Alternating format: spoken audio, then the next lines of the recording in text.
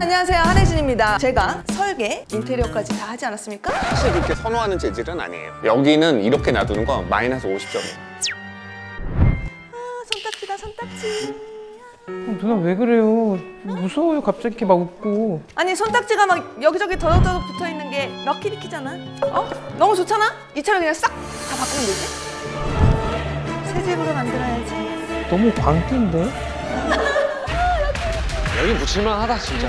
저는 말이죠 여기다가 붙이도록 하겠습니다 네, 기획 자체에 문제가 있는 것 같아요. 독설로 혹독하게 가리킨다면 그 지적 받아들이시면서 하실 수 있겠어요?